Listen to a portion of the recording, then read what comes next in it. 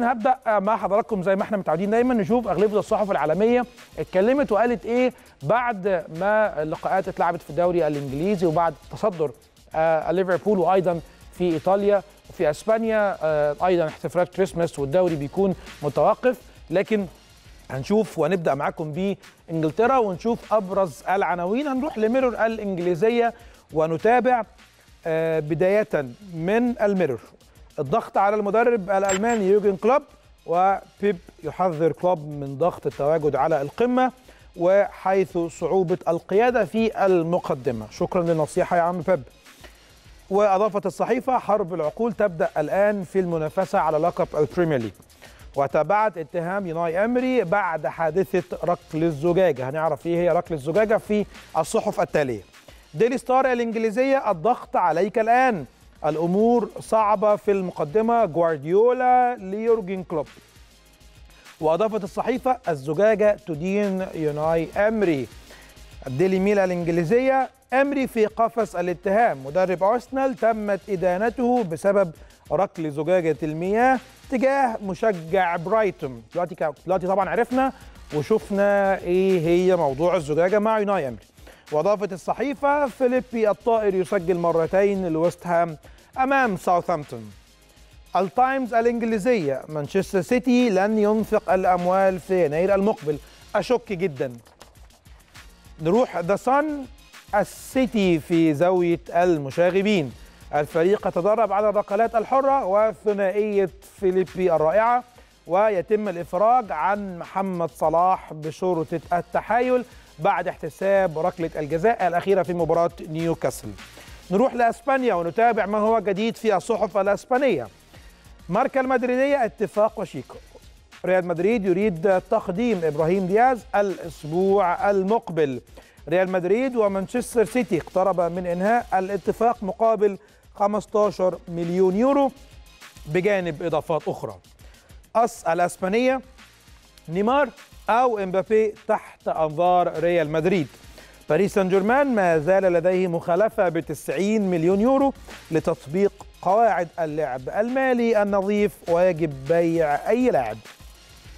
موندو ديبورتيفو الأسبانية تصدر موريلو الصفحة الأولى للصحيفة بتصريح وهذا هو تحدي حياتي.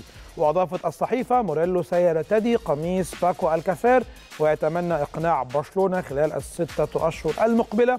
لحجز مكانا دائما في الفريق. وتابعت يوفنتوس يسعى لضم توديبو الذي يراقبه برشلونة ويعرض 4 ملايين يورو.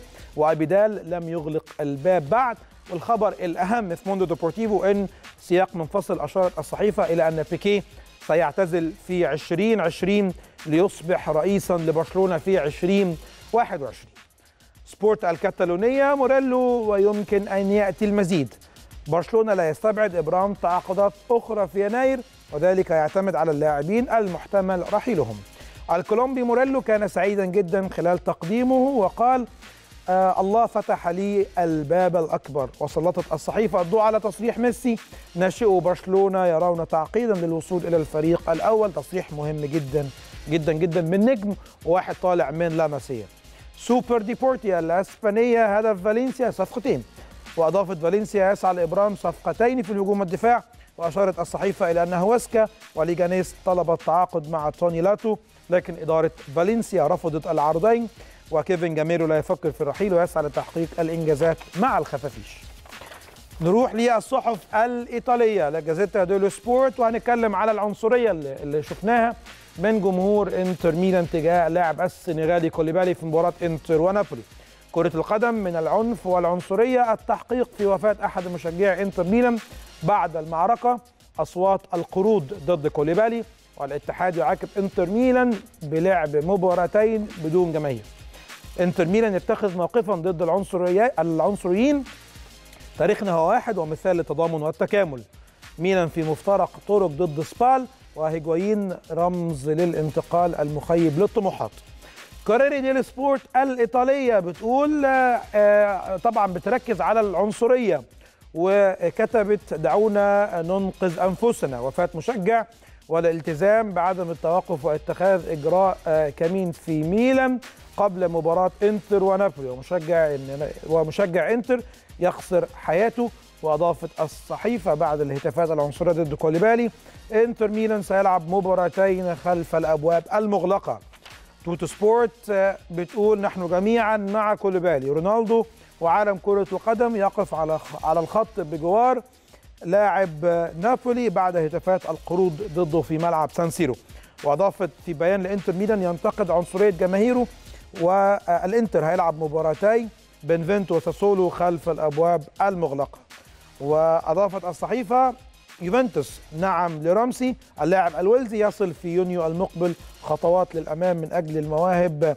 دوتيبو وترينكاو وهيجوايين قد يخوض آخر مباراة له في سان سيرو ضد سبال. وأخيرا الصحف الفرنسية وآخر صحيفة موجودة معانا لابروفانس الفرنسية بتتكلم على رسالة تحفيزية للاعبي أولمبيك مارسيليا قائلة في 2019 يجب أن تكونوا أكثر قوة في ملعبكم فيلودروم. طيب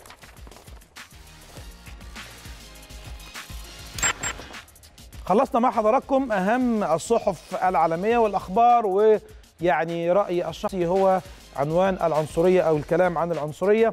عايز أقول لحضراتكم يعني قصة خاصة بالمباراة وإيه اللي حصل في مباراة إنتر ونابولي الأخيرة مباراة إنتر ونابولي كانت في بطولة الدوري لكن شهدت للأسف حادثة صعبة جدا بالنسبة لجمهور نادي نابولي. في البداية طبعا أخبار انتشرت إن أحد جمهور نادي إنتر ميلان تعرض لحادثة حادثة طبيعية جدا لكن اللي وصل لجمهور إنتر إن جمهور نابولي هم اللي تعرضوا للحادث لأحد الجمهور أو أحد جماهير نادي إنتر.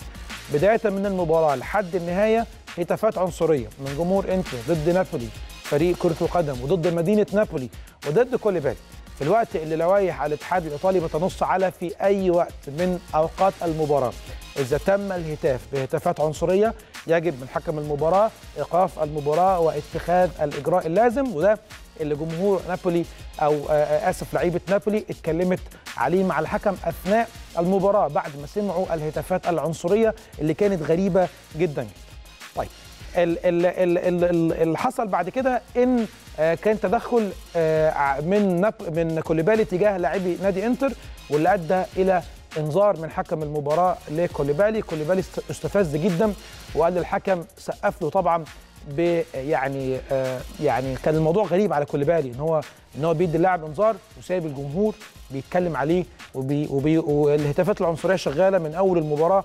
لحد آخر المباراة وإن الحكم ما أخدش أي إجراء في الوقت ده الحكم إدى كوليبالي الإنذار الثاني وكارت أحمر وطرده من المباراة لكن واقعة كانت غريبة جدا جدا العالم كله كان واقف بجانب كوليبالي ونادي نابولي واللي. واللي أدى أيضا إلى أحداث بعد المباراة لكن الإنتر مش أول مرة يعمل كده الإنتر في مباراة يوفنتوس آه كان ضرب مشجعين وضرب سيدات أو فتيات اللي بتكون موجودة في ملعب المباراة لخدمة المشجعين وبالتالي الاتحاد الإيطالي وقع عقوبة أنا شايف إنها عقوبة يعني خفيفة جدا هي مباراتين بدون جمهور. لابد من نادي إنتر والاتحاد الإيطالي يتحدوا مع بعض علشان يوقفوا العنصريين اللي بيقودوا المشجعين داخل المدرجات واللي بيقودوا الجمهور إلى هتافات عنصرية. إيطاليا بلد كبيرة جدا في كرة القدم وكبيرة بالتاريخ وبالحضارة.